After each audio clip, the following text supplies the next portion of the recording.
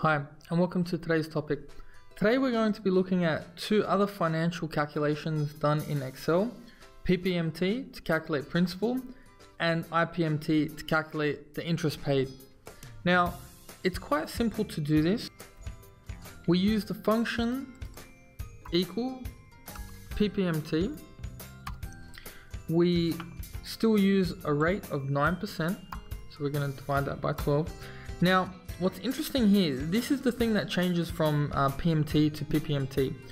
Now, the payment period, we know that there are 180 payment periods in our uh, loan, you know, repayment. Now, as you can see here, this is the payment period.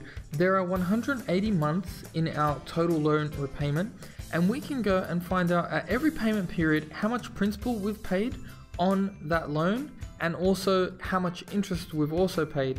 So I've now set up this and I've left it as one. So this is going to be the first payment. How much principal am I actually going to pay on my first payment? Now, the payment period is 180. The present value is the amount that I'm borrowing. And the future value is going to be zero and the type is going to be zero also. I'm just gonna close bracket. now you can see that in the first month of me repaying this loan, that is the principal that I'm paying. If I change this to another payment period, so let's say, you know, the 100th month, then I can see that the principal that I'm paying is more. And that's generally right. As you go into a loan, you pay uh, more principal towards the end and you pay more interest at the start. So that's how you calculate PPMT. Now to calculate the interest, you use the formula IPMT. And again, it's the same kind of thing. We're going to deal with a 9% interest rate, divide that by 12. We are going to look at our first payment period. So we're going to have uh, this cell, which is driving that.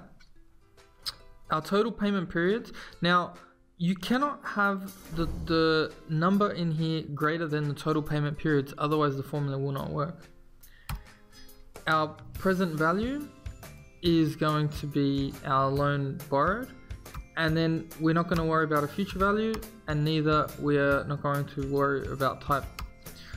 So I can see that on my first payment, the interest is much greater than the actual principal, but as I get to the end of the payment, the opposite occurs.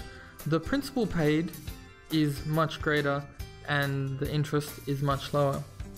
Anyways, thanks for watching this simple tutorial on how PPMT and IPMT work. See you next time.